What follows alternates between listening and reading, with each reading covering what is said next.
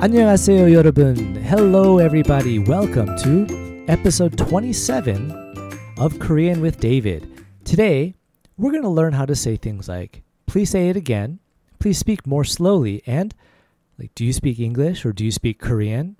And please write it down. So these are things that you can actually use it more commonly when you visit Korea. So let's start with, please say that again.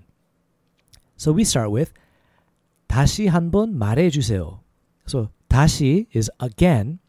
한 번 is like one more time. So that's 다시 한번 말해 주세요.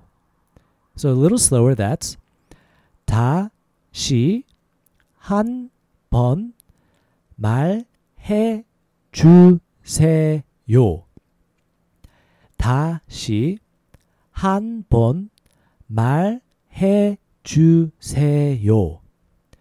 다시 한번 말해 주세요. A little faster that's 다시 한번 말해 주세요. 다시 한번 말해 주세요. 다시 한번 말해 주세요.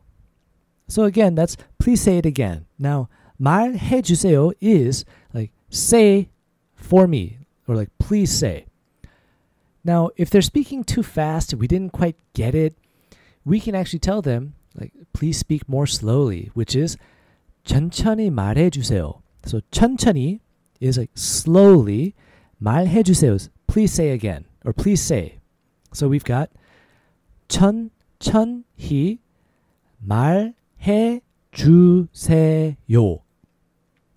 천천히 말해 주세요.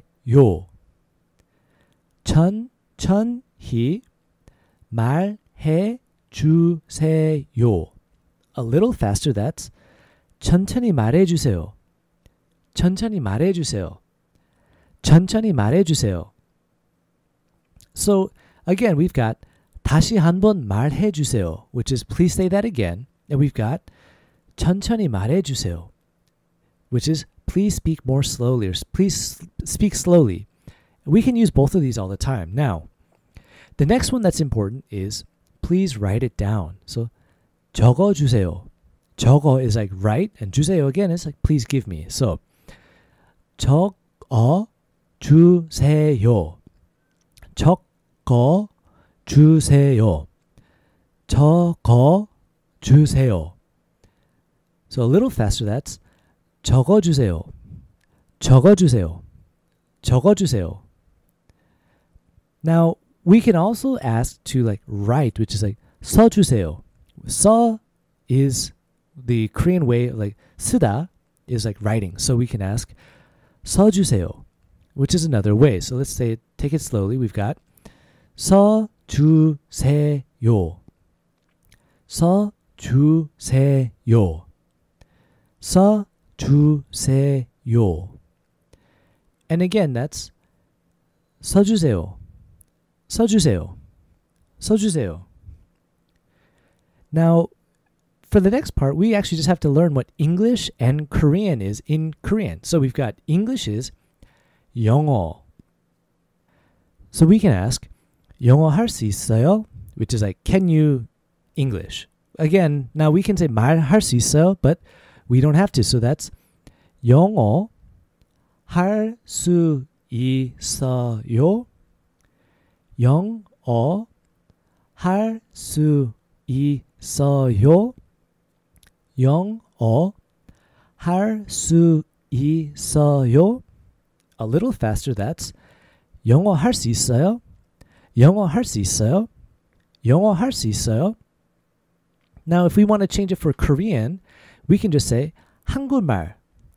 So we can change it out instead of 영어, we can say 한국말. So again, that's 한글말. Now, again, it doesn't sound right because when you read it, it says 한국말, 한국말, but it kind of has a small soft L sound. So 한국말, 한국말. Faster is 한국말, and it kind of sounds like 한글, which is the actual like Korean letters. So 한국말 할 수 있어요? Now, with all of this, if you guys have any more questions, feel free to send me an email at learnkoreanwithdavid at gmail.com. And make sure to check out our Instagram as well, which is the Learn Korean with David IG. And there, I start posting a little bit more pictures and other things that help you learn more Korean. So, thanks for listening. I hope you guys enjoyed it. I'll see you guys next time. 다음에 봐요.